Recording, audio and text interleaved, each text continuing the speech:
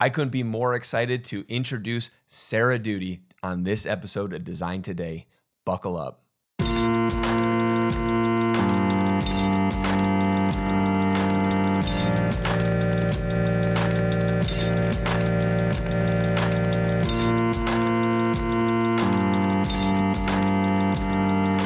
I'm Dillon Winspear and the host of the Designed Today podcast. Thanks for giving this episode a listen. I promise you it will not disappoint. There are a ton of options out there for people considering a career in UX, and deciding to go down the bootcamp route is pretty important for some. But after school, Sarah and I have both found that many talented individuals struggle to figure out what's next. She's created a program to help those types of students, helping them focus on improving their portfolios, their presence, and more. You can find more information about those programs in the details of this episode. Today, she shares a couple tried and true principles of what you should be doing and thinking as you approach your UX schooling graduation. Sarah, thank you so much for coming on the podcast. This is a a huge joy for me. Thanks for having me. I'm excited to be here. Uh, I had a little bit of like uh, starstruck celebrity status having you come to my house. Going like, Sarah Doody's coming to my house to record. This is gonna be awesome. Uh, but you've done a lot, and you're helping a ton of people. So that's why I think why this is so special. I always laugh when people say that because I think when you are in the middle of it, sometimes you don't realize it, and then like I go look at my Twitter stats or YouTube subscriptions, and I think, oh, I guess I have an audience. You know, it wasn't it wasn't a master do. plan. I will definitely say that. no, you definitely do have an audience. I mean, your YouTube videos have thousands and thousands of views. I mean, you've got a couple of those videos that uh 50, 60,000 yeah, views. 50, it's crazy. Uh helping people address some issues that they're having in their resumes or their portfolios. I mean, you've got a lot of content out there to help designers who are in early stages of their their career start to prepare for their career exactly. prepare for the next step. So give us a little bit of an introduction to what you are doing now full time and and the, I guess the coursework that you put together to help these people. Right. So this all started really two years ago. Um, I had a problem with my inbox and I was really sick of seeing the same question How do I make a portfolio? How do I break into UX? Mm-hmm. And to be totally honest, I would put those in a folder and put it to do to reply, reply uh-huh. and I would never reply. Or I would reply to five and then get overwhelmed because it was just so frustrating to me. Yeah. And I thought in the back of my head, and don't take this the wrong way, but I thought if you can't figure this out, you're not going to like survive a week in a role if you get hired. Right. So it was happening so much that I thought I have to do something about this. So I posted five videos on YouTube, and one of them was that 50 or 60,000 view of how do I make a portfolio without experience? I think that's what it's called. Yeah. And that took off, which then led to this kind of gold mine of a topic opening up for me. Um, so since then, in the past two years, I've developed and prototyped uh, programs related to helping people create a portfolio and prepare for UX job interviews. Mm-hmm. Um, and 1,100 people have gone through those programs to date. Um, they've been hired it's at incredible. companies. Yeah, I mean, when I when I did the first one two years ago, two years ago this summer, the first person got hired six weeks after I taught the first beta, and I made the curriculum for the first beta like two days before I taught it. Uh-huh. That's a whole other episode of how did I like prototype this beta because I sold out the beta and then I had a wait list of 100 people for the next one. Oh my gosh. Um, but totally different podcast. But she got hired. And then I thought, oh, I guess maybe there's something here. And then people were getting hired at Microsoft and Google and Deloitte and Salesforce and all these companies. But the transformation was huge. People would say, you know, I finally have my dream job, or I have a salary increase of like 62% or something like that. And I thought, I did not think my career would go this route, but this is a problem. And I, I think yeah. that the user researcher in me did what I always say, like be a problem spotter. Mm-hmm. And I just I spotted the problem and then I would delete the emails. Yeah. But then I thought I can't ignore this anymore. Yeah. And so now 2 years later, that's kind of where we are and it's taken over my business. I do about 80% of my time on this business, the portfolio career stuff. Uh-huh. And then the rest is reserved for really selective client work that I do. Um, yeah, and that's how I kind of got into full time teaching, I guess. But really, I dipped my toe into teaching back in 2011 when I uh, co created the curriculum for General Assembly's Right. first 12 week program back in New York. And, you know, it was twice a week in person, so much work. We definitely underestimated that. Yeah. But um, Is it fair uh, to say kind General of full Assembly? circle now. Is it fair to say General Assembly was one of like the first UX schools that really kind To- of caught attention? Yeah, I, to my knowledge, I'm pretty sure. I mean, maybe there was something going on in San Francisco, but in New York, they were the kind of tech education Yeah. hub, if you will. Yeah.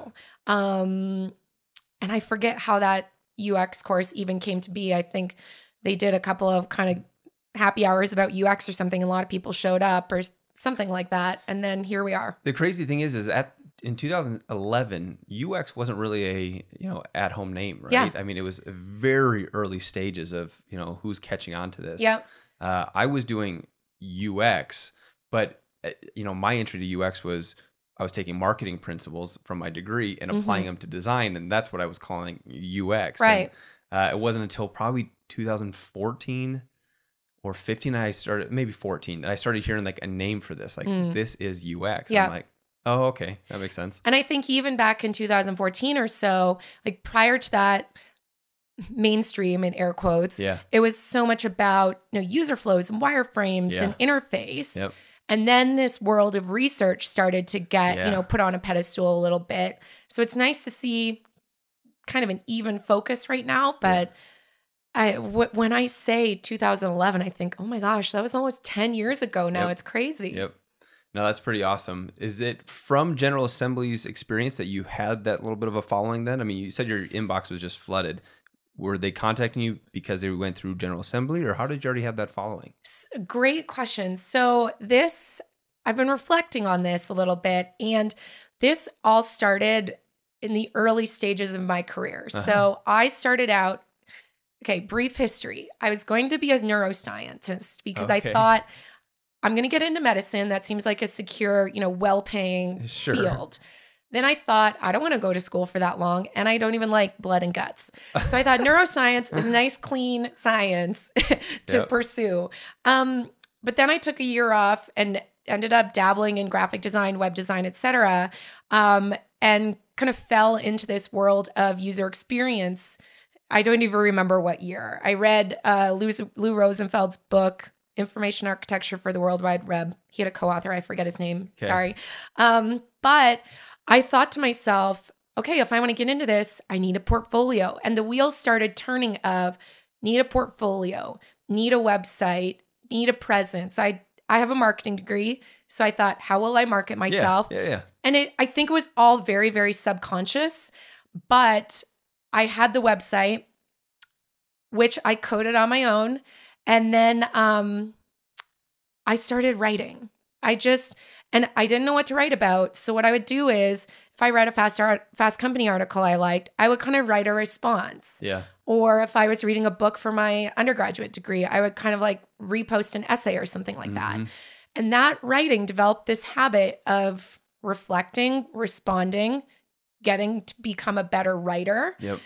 And that, and I joined Twitter. And those two things I think were the catalyst Okay. because I was active on Twitter and I could point people to these articles. And yeah. the reason that General Assembly ever happened for me was because I wrote an article on UX Magazine.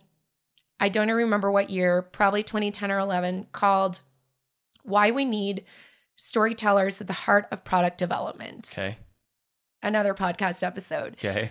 That went viral on Twitter. Like I had people from Harvard messaging me on the phone with people from Stanford. I mean, and how, I don't even remember how old I was at the time, like 20, early mid 20s, something like Okay. that.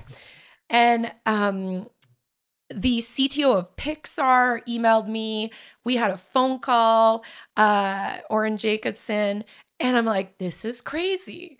But that's how kind of General Assembly happened because they someone read an article and said, "Oh, Sarah knows user experience," and that was it. That's so cool. I mean, what a wild experience. And it also speaks to like the success that you could have early on in your career, right? And Yeah. just being able to articulate your thoughts and get things documented on paper. Like you don't have to be 30, 40 years old and start to have the success. And the the thing that's interesting about my career, and maybe I'm too close to it and I'm discounting my experience, but a lot of people, especially, you know, friends that don't understand UX or even my parents, you know, I had opportunities to work at Google and I turned them down twice.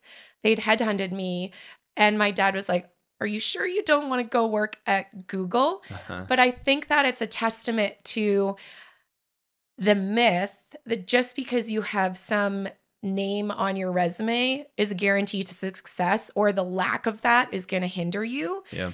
Because sure, that could be a stamp of approval, but it's more about your ability to communicate, to articulate your ideas, um, to just have kind of like decent social abilities Yep. and things like that. 100%. Yeah. So, without uh, spending much more time on that, because we've got a really packed topic that we want to get into. so, what we were going to talk a little bit about is you graduated from your boot camp. Now what? Right. So, why is that uh, something that's, I guess, so close to you? So again, I think it's the problem spotter, user researcher eyes that I have because in doing a lot of research in parallel with coming up with the UX portfolio program that I do, I have a lot of data. Mm-hmm. And I know that a large percent of people who come to me are in a boot camp or just graduated. Yep. And this is not, you know, a shot at the boot camps, but a lot of them say, as a part of the program, you will have a portfolio or you will, you know, have job uh, search and job interview preparation assistance.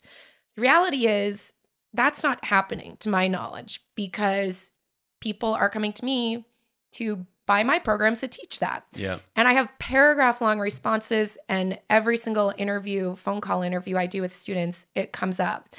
So um, that's kind of where it all started.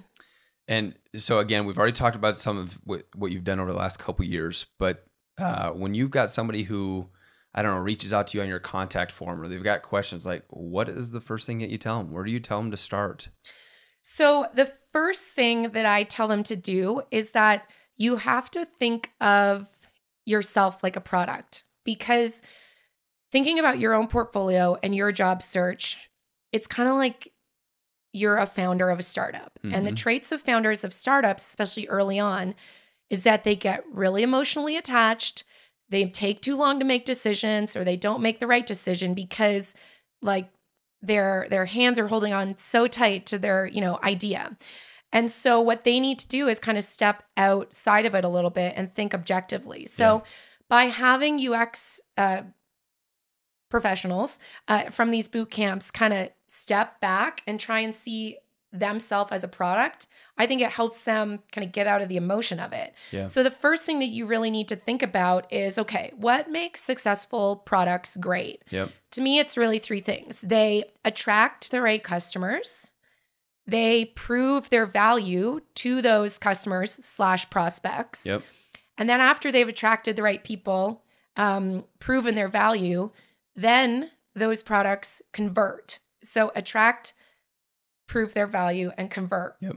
Um, and that's what makes great products. Right. So if you can think to yourself, how can I attract the right potential employers, recruiters, etc.? How do I prove my value? And then how do I convert maybe interested people or interviews into offers? That helps give you a framework rather rather than thinking to yourself like, oh my gosh, I don't know where to start, you know, and then you work on it for a weekend and delete your portfolio and start again next weekend. Yep. So when they start to attract potential prospects, what are they doing to attract those prospects? So you kind of have to think to yourself, this is not just about going on LinkedIn when you're ready to start applying, going on LinkedIn, toggling whatever that setting's called, and then like hoping people start to contact you. Yeah. And I'm available or whatever Like, that toggle yes. switch is. I didn't realize like people do that Yep. because I have never done that in my career. And if I did, it was by accident Mhm. through some UX weird thing on LinkedIn. But um it was shocking to me to hear people say, yeah, like I just turned on the I'm available and then I sat back and waited for people to contact me. And I thought, this is insane. Like when I was job hunting, I was scouring message boards, job postings, company websites, etc., reaching out to recruiters. And so in order to do that attracting, you need to think of what is the ecosystem of me. Yeah. So there are many parts to it. There's maybe a web page, maybe there's social media presence, maybe there is um, in-person networking opportunities, maybe there is a LinkedIn profile. And so you kind of have to map out like what are all those touch points? What are those opportunities? And then make sure that the story that is happening on all of those moving parts is the same. Because what normally happens is when people come to me, maybe they focused all their time on their uh, portfolio, but their resume is terrible, their LinkedIn is terrible, and they have some uh, like really horrible cover letters and things like that. So thinking about, first of all, this ecosystem that you need to create. How are you teaching networking or how are you dictating that one?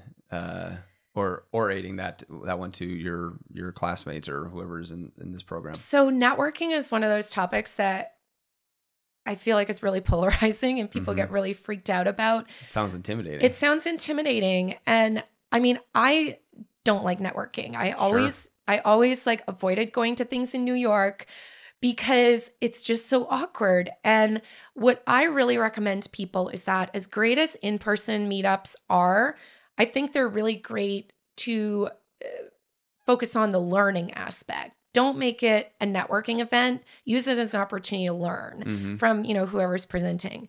Concerning networking, I think it's far more effective to do it in all of the online communities that yeah. exist because it allows those relationships to happen a little bit more organically and gives people time to like marinate on the conversation rather than you know meeting a stranger in person and having some awkward exchange. Yep. Um so there's so many the great thing is there's so many amazing online ux communities out there that i think you just have to go into those and start to hang out. Yep. And the side tip i have is that a lot of the communities are huge but you can find really great niche communities like user research communities or i mean i have a community that is only for discussing portfolios job search and interview prep. I delete everything else uh-huh. kick people out. Uh-huh.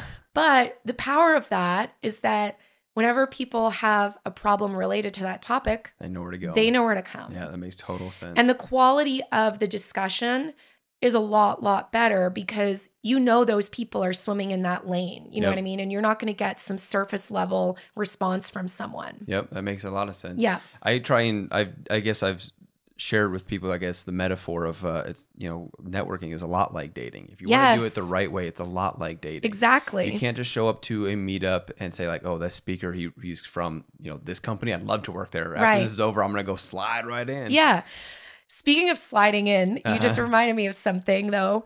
Um, concerning these uh, groups, naturally you'll probably encounter people that you want to, you know, send a message to right. privately or something like that. And I would just speak from personal experience and say that I probably need to write an article or develop a workshop on how to effectively like reach out to colleagues or people that or maybe a couple of levels ahead of you mm-hmm. and actually get a response. Currently in my LinkedIn inbox, I believe I have over 800 invitation requests. And that's a problem. So apologies if you tried to become my friend on there. I might be one of them. But um I I feel like I might have said yes to yours, but yes. I just changed a setting. So now it's all like messed up. Yeah. But okay. the messages part of LinkedIn, it blows my mind how um, clueless people are to how to compose a good email to someone that you would like to get advice from. Yeah. Um, maybe I'll make a template or something, but yeah. it, first of all, like go Google that person first and see if they have a website and yep. see if they've already answered your question. Yep. Second, don't ask questions like, can I pick your brain? At the flip side, don't um, send your life story someone did this to me once. I looked how many words it was. It was 3,000 words. And I got, I am not responding to this, you know? How so, much of it did you even read? Exactly. Okay. So I um I would really recommend like get specific with your questions. Make it easy for that person to respond to you. You know, don't don't just uh, kind of see someone that you look up to and think they're going to be my silver bullet. If they just answer my email, I know I'll have an amazing career because it doesn't work like that. Well, and Sarah, I, I I know you a little bit now, and I would I would venture to guess that in those scenarios, you're always well intentioned. You know, like somebody reaches out to you, I know you're not going like, well, screw that person. Like, Exactly. I know you're well intentioned. I mean, you even said earlier that you put these emails into like a reply folder. yeah, But then it gets overwhelming. exactly. And I even I know I don't have nearly the amount of incoming you know messages that you have, but sometimes well intentioned, I just forget things, you know, or I read Yep. it at work or in a meeting and then I just forget to come back to it. exactly. Things slip through the cracks. Uh, if you're okay with, it, let me share a quick story. Yes. I had uh, sh- her name's Jennifer. She, I, I think the world of her. She's helped me with the podcast now for about the last six months. But she and I originally connected about a year and a half ago, and she sent me an email that I will never forget. Um, it was in this phase where I had posted something that we were hiring at Domo. I got flooded with 50, 60, 70 emails within 48 hours wow. and I couldn't go through all of them. But when I scanned hers, like the very first sentence of it, and this is back when I had a real big beard. Okay. The very first sentence, she was like, "I like your beard. We should talk about it." And I just Yep. like started busting up laughing. And I started reading the rest of this email, and she just kept going on, and like nothing was even about UX. It was just like one joke after another about like this beard. And uh, I didn't respond to her. But I tell you what, of all those 50, 60 emails that I went through that day, I went home and told my wife about one of them yeah. and because it, it stuck out.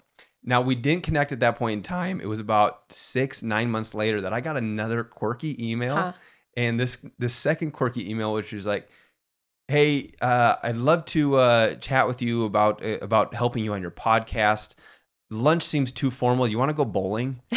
And I just started busting a gut, and I was just like, "Who is it? She's got to be the same person who sent the the beard email." Right. Sure enough, it was, and I had to respond this time. And since then, I've just learned that she's a fantastic human being Huh. who knew how to get my attention, uh, and has helped me tremendously. And I just think, like you know, there's there's a lot of ways to do it, but you're doing it the same way everyone else is doing it. Whether, like you said, you know, hey, could you give me some advice?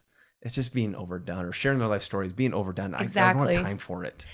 Well, that example is a really um, great example of something that uh, someone else taught me, which is called anchoring. Mhm. So when you are reaching out in Jennifer's case, she didn't start with like, "Dear hiring manager, my name is Jennifer." Blah blah blah. Right. She had an anchor, meaning she was able to pick out some interesting fact, some commonality, Uh-huh. some icebreaker. I guess is a better way to put it Yeah. to catch that person's attention. Yep. And so when I tell my students, like, after you've applied to a company, if you don't know anyone there, the best chance you're going to have is to network your way to someone inside that company. Exactly. And so they say, okay, well, how do I do that? And I said, well, go into a Facebook group or LinkedIn group and say, hey, I just applied at uh, Domo hmm and I don't know anyone there. I'd Mhm. love to hear more about the design culture, the interview process. Can anyone like give me some advice? Yep. That way, the ask is not, guys, can someone pull some strings at Domo, which sounds Right. desperate.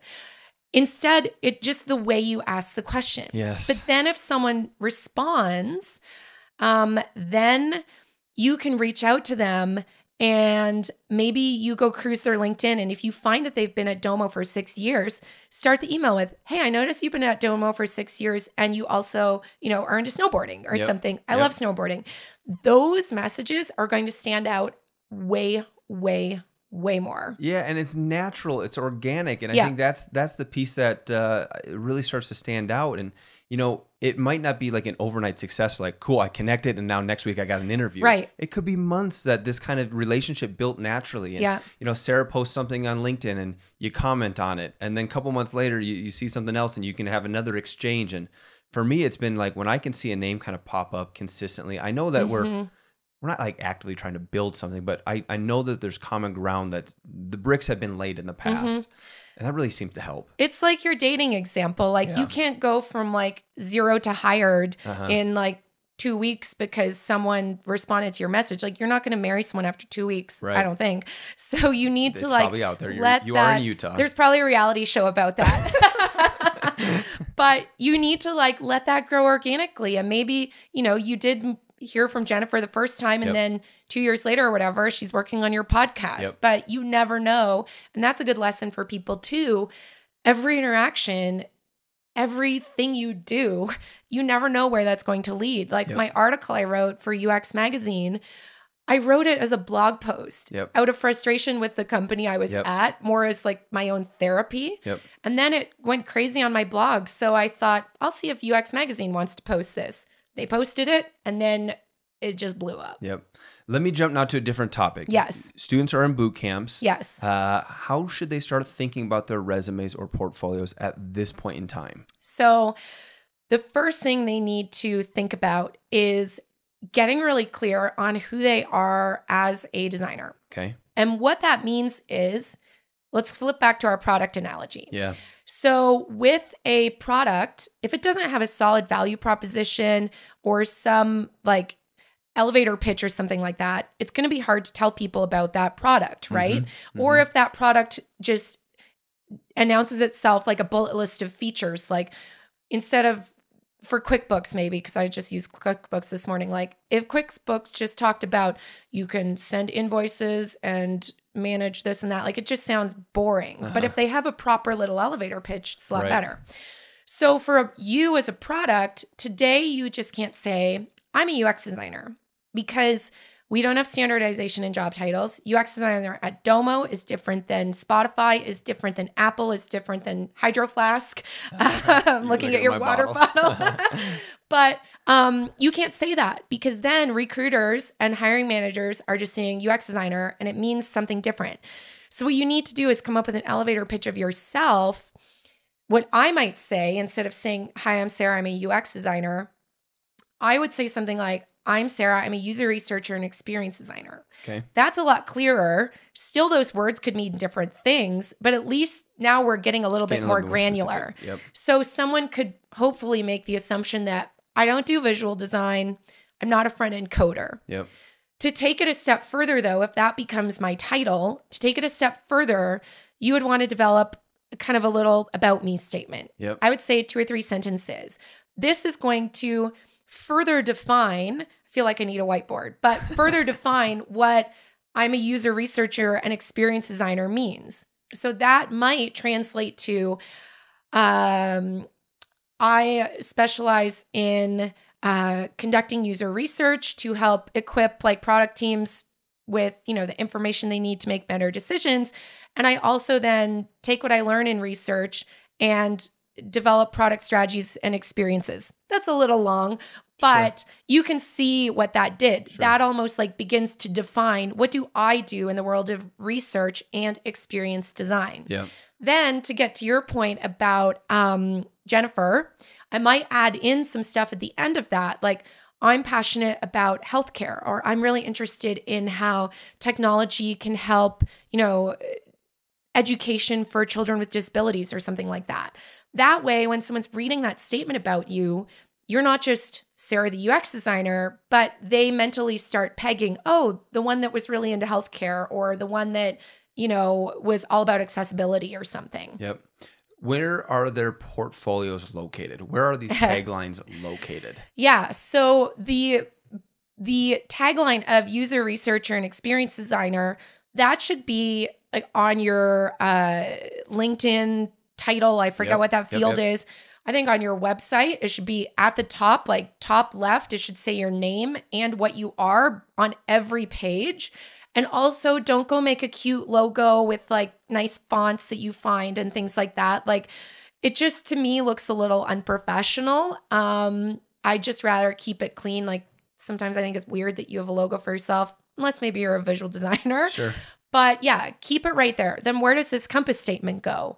Um, it should go on your homepage right at the top so people know who you are. Like if this was a product homepage, you wouldn't put the tagline or the uh, you know, elevator pitch like in the in the bottom third of the website. Right. Right. Um, and then in your LinkedIn, I forget what the section is called, but kind of right below on the top left, after I think uh, your title, there's an area where you can add in like a little overview. You can also add in links. So you could add in links to articles you've written or Mhm. specific projects in your portfolio. Mhm.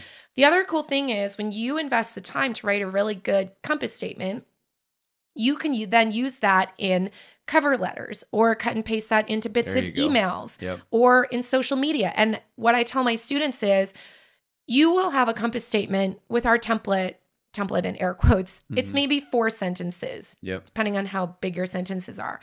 But you what you put on your LinkedIn might only be three of those. What you put on your Twitter, because the thing with templates, this is like my recent rant, is that it's a guideline. Like yeah.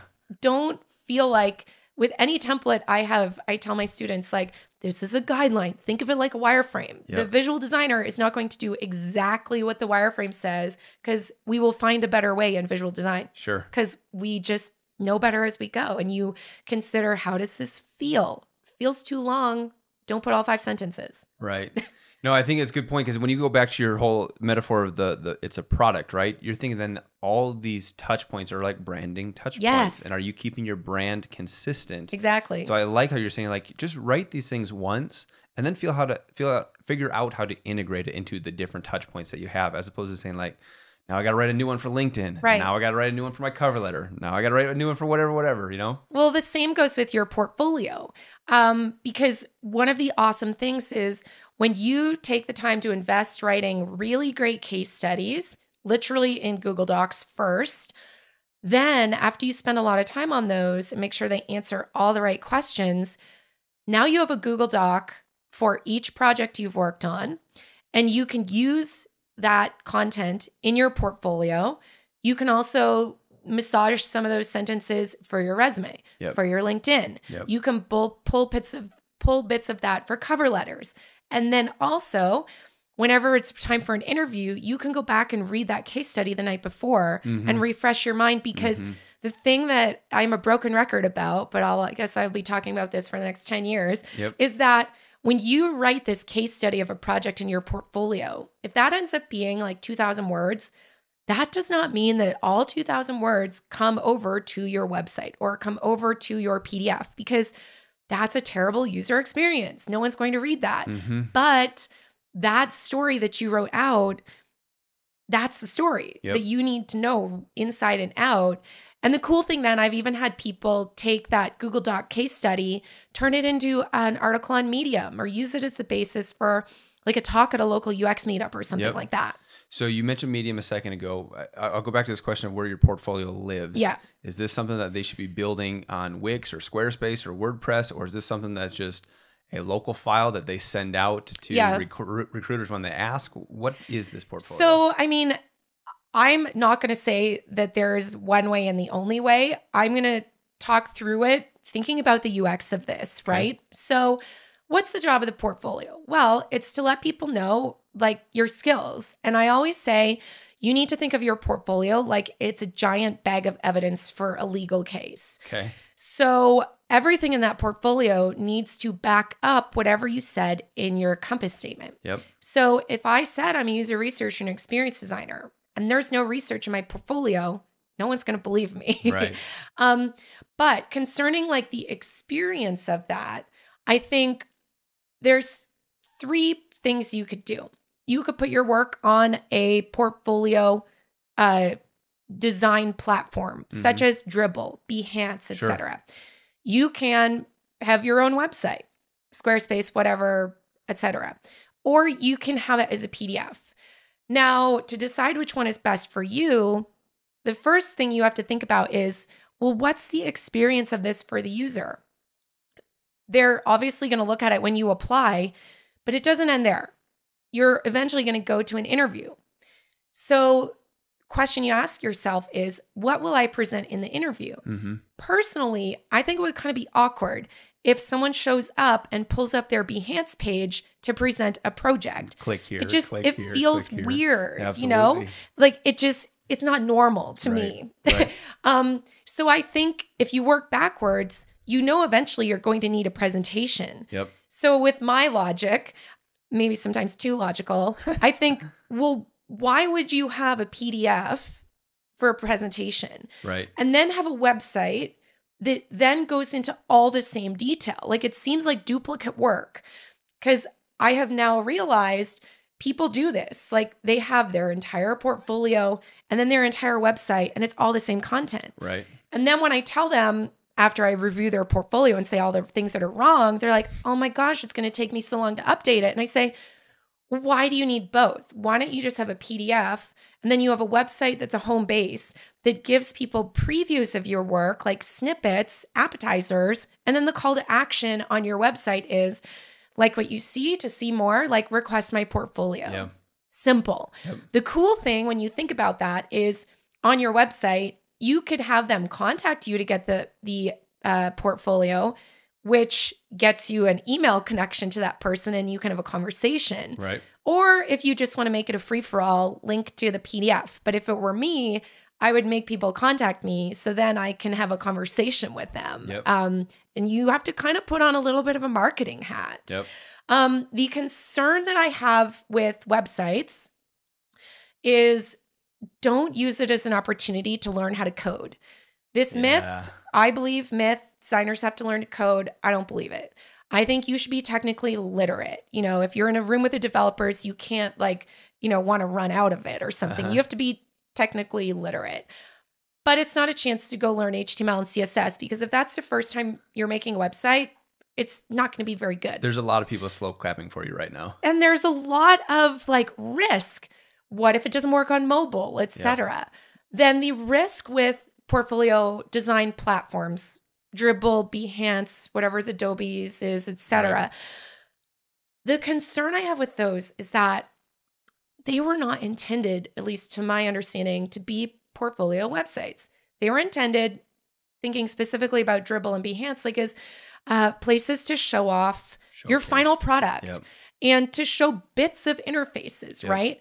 So there are not a lot of um, parts of your profile page on there to really get into the detail and have text and also it's getting into the weeds but like properly format that text Yep. to you know on medium you can kind of adjust the font size with different headings and subheaders and things but on those websites i don't know that you can or if you can people aren't doing it the other problem, though, is that in addition to not being able to showcase your process really well, and it would be weird to pull up your Behance in an interview, is that if you are sending recruiters to your Behance profile, guess what? They're like one click, one millisecond away from being able to jump off to someone else's because Yep. they see something in the sidebar or they search. eye. Right. So it's like, if you have a website, you've at least corralled people into the world of you. Mm-hmm. Uh, PDF, same thing, potentially even better because then it's not a website. Maybe they're op- maybe they're reading that in preview where there's not a Google search bar at the top, and they're gonna you know find like their next vacation or something. And, and I've also found that sometimes we needed to print them. And so a PDF is going to print a lot easier too. True, that's a good point. And like you hire people, so Yep. you can speak to that.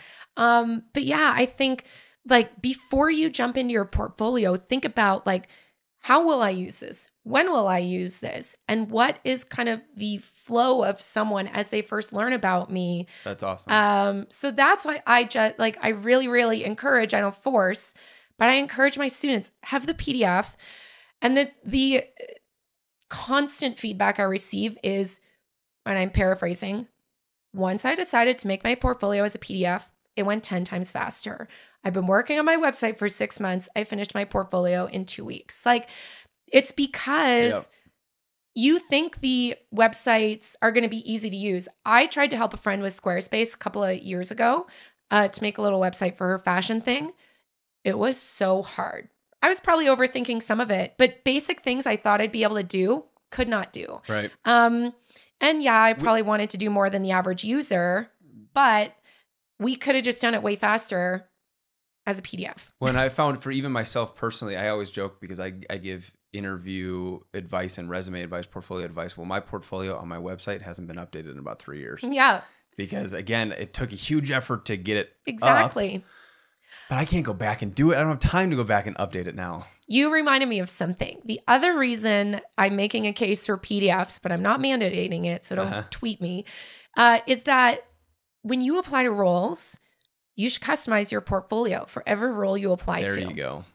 So, how do you do that if it's a Behance? Or how do you Great do that point. if it's a website? People have told me they can do it on a website, but I think that sounds like a lot of work. If it's a PDF, what you need to do, and the beauty of the PDF is you have one master file for your pres- for your portfolio, which has every project you want to include Mm-hmm. forever. Mm-hmm. Then I apply at Domo. I think to myself, okay, open up the keynote, make a duplicate. Then I start to customize the portfolio for Domo because I think, oh, this project really relates to whatever the job description says. I'm going to move it up to the top, or I'm going to delete these two that have nothing to do with anything that Domo would care about Yep. because I have studied the job description and identified the things they're looking for, which also amazes me how much people don't do because they just see UX and job titles and hit apply, apply, apply. Yeah, it's all the same. It's crazy. Yep. and it's funny because our our hiring at Domo is it's enterprise UX, and enterprise UX is very different than just like a B 2 C Exactly. uh, app for somebody who wants to rent a bike. I mean, Yeah. it's, it's very different. And so when they come in with uh, specifying in their portfolio where they've got enterprise experience, it's already a huge plus one for that Yeah. individual. We're already looking around the room going like, they've got enterprise experience. Right. And if they can articulate in that portfolio and then also in the interview be able to say like, well, I decided to choose this project because I think it's a great example of, you know, enterprise onboarding. hmm And even though it's in, you know, some other industry, I know I noticed in the job description, blah, blah, blah, or in my conversation, Yeah. that that's an example of like anchoring, as we talked about earlier, you know, in real life. Yep, absolutely. So we've covered a couple of those first steps. I think the last step we talked about was converting. Yes. So share with me a little bit of the tips or tricks that you have for converting now. We, we, we're starting, it sounds like we're starting to touch on it. Right. So converting, yeah. Once you are attracting uh, the right people and you have the home base, the ecosystem set up, what do you do once people start to express interest in you? And Mhm. how do you go from, oh, I got a first phone call with a recruiter to I have an offer? hmm And uh, it's going to be different for every company. But I think the tip I have for new graduates is to remember that um, you really need to be patient because even though UX is really hot right now, I think there's just this myth out there that you'll be hired within two weeks of graduating or something. Mhm.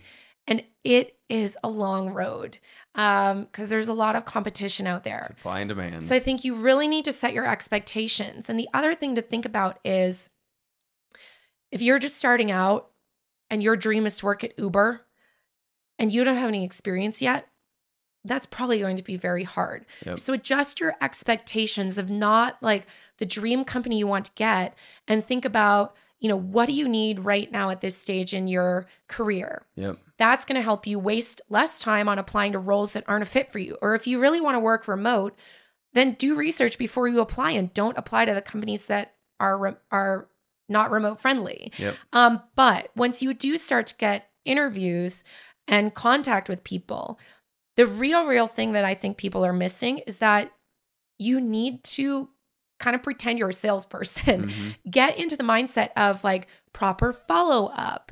If you don't hear from someone like in a week, email them back.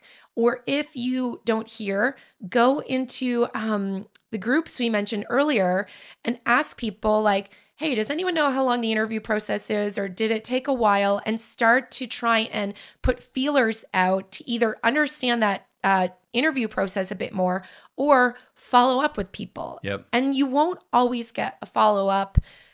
It's just the way the world works. But I don't think it's bad to do two, even three follow ups if you're not hearing because these people are busy. They've got a lot going on and they might be on vacation, might be the time of year. But it amazes me how many times people don't follow up. You know, we're about to hire someone uh, who completely fell off my list of people who I wanted to interview. Because when I got flooded this last round, I was telling you about those internships we, or the uh, positions we were just filling. Mm-hmm. Uh, I had lists, and there was probably like 30 some people that we wanted to do phone interviews with. Mm. And this individual just somehow fell off my list.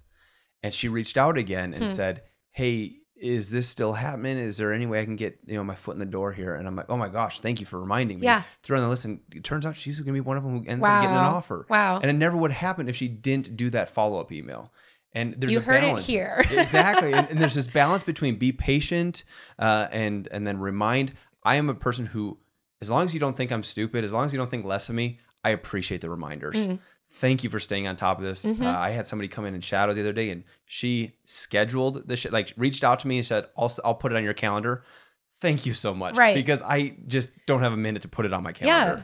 I mean, think of your own email inbox. How many times, or text messages, how many times you forget to reply to someone? It's not that you're a jerk, it's just you forgot, you know, things fell off the radar. So, really, really remembering to follow up, but also concerning the um, job search process, you need to treat that like it's a part time slash full time job and have proper project management around Yep. that. So don't leave notes, you know, in a notebook or on your iPhone or something, or have little stickies everywhere. Like make a Google Sheet, make a Trello board, make a whatever works for you, and like project manage your own um your own interview process in your job search Yep. and get granular. Like, do I know anyone there? Have I asked in Facebook groups, etc. Um, I have a template and it's kind of it's for my students. It's kind of over the top, but they all say like this is so helpful because I used to have it all in email or folders or a notebook and you forget.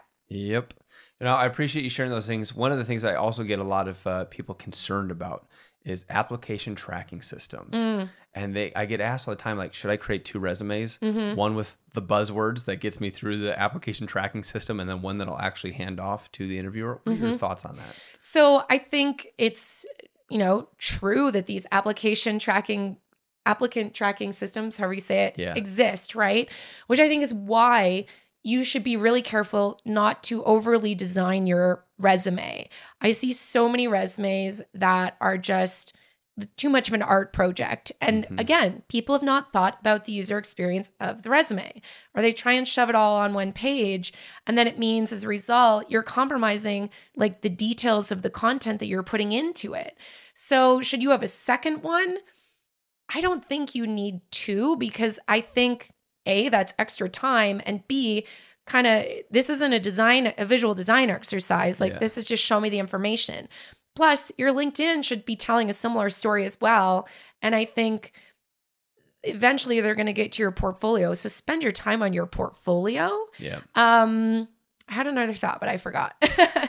No, I think that's great because I, again, people get caught in the weeds of like I'm in their mind they're they are conversion optimizing. Okay, so I'll, I'll create this one for this system, then I'll create this one to get in here. Yeah.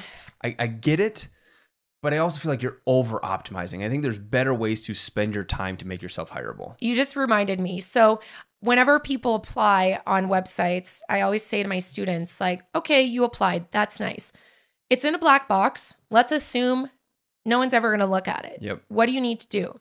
Need to connect with someone on the inside or Yep. try. That's why this uh, networking, especially online networking, is so important. Especially because if you go into a group and post, then that one post is getting a lot of eyeballs on it. If you're at a networking event and you're talking one on one, then it's going to take you 50 times longer to get to the answer. Whereas in a Facebook group, you might have like 20 responses by tomorrow morning. Yep. But it all again goes back to your ability to be, you know, a socially competent human being, Mhm. not sound like you're begging in these Facebook groups, asking thoughtful questions or doing research in the group before you even ask the question because Yep. someone may have already said, does anyone know what the interview process is like at Domo or does anyone, you know, Right. et cetera? So, um, yeah, I mean, spend a little bit of time optimizing, but uh, rely on humans. Don't rely Yeah. on the robots. You know, and that's fair because I've I've shared with many individuals that w- as they start to get into the weeds of like this conversion optimization via their resume and their portfolio, like Mhm. maybe if I just tweaked this in my portfolio, I'd get hired. And Right. and I go like, it's already good. Like you, you know, there's things that we can make better. It's already good. Yeah. What I think you need to do more of is this networking piece or Right. is this building relationship piece because I personally, and I don't know if you can speak for yourself, I personally have never landed a job position based off of turning in a resume.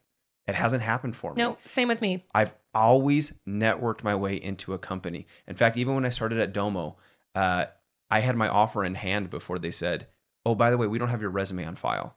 Hmm. And Yeah. then I sent it to him. Yeah. I think looking back in my career, like all of the opportunities have come because I knew someone or the IBM example, it came because someone had read an article I wrote. Mm-hmm. My freelance Those touch points you talk clients, it's always I read an article, I saw a tweet, I saw your YouTube video, I read your newsletter, you know?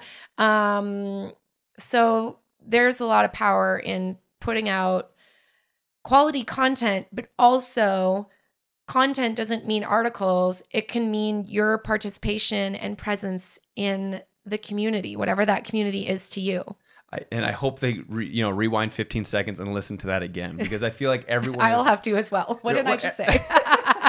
everyone is so. I mean, there's low barrier uh, to entry of writing a Medium article. Right. Low barrier of entry of writing a LinkedIn article, or you know, low barrier of entry in starting a podcast. yeah. But there are other ways to create your content, and it can simply just be getting involved, like you said. Exactly. No, because you know, I I look in the group I run for um I have a group for my students and a group for anyone and in the anyone group there's like 5500 people. I don't have time to answer all those questions, but I could pinpoint the people that are leaders in that group who always are chiming in to answer questions very very thoughtfully and Mhm. um that gets noticed, you know? Absolutely. Uh, we are about at time. I let this one go a little bit longer because I'm really excited about this topic. There's so much here. so, if someone wants to reach out and I guess learn a little bit more about you and about your work, what should they do?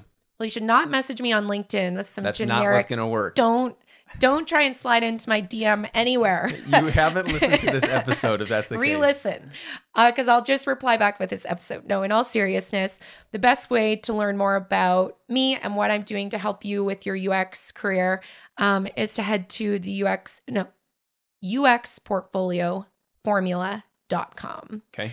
Uh, we'll link it up below. There's no the. Um, and that's where you can find information. I have a ton of articles, how to get into my different groups. If you want to come into one of the programs, you can learn everything there. Um, but I have a big focus on content in the next couple of months. So that articles section will be blown out a lot. Cool. Yeah. And for a lot of those who are listening on YouTube, you've also got a YouTube channel that's Yes. uh, pretty robust as well. YouTube is uh, Sarah Doody, my name. Um, maybe in the next couple of months we'll get more on videos, but there's UX career and job playlist right there with teardowns of UX portfolios, tips for job interviews, um, analysis of case studies that have gone viral. So there's tons of awesome information there. Cool. Anything else we need to plug? I don't think so. Okay, that's it. Thank Yeah. you so much for your time. This has been fantastic, packed with information. Thanks for having me. I, I obviously love talking about this topic. This is a great topic. Great. Okay, that's it for today. Thanks for listening to Designed Today. Música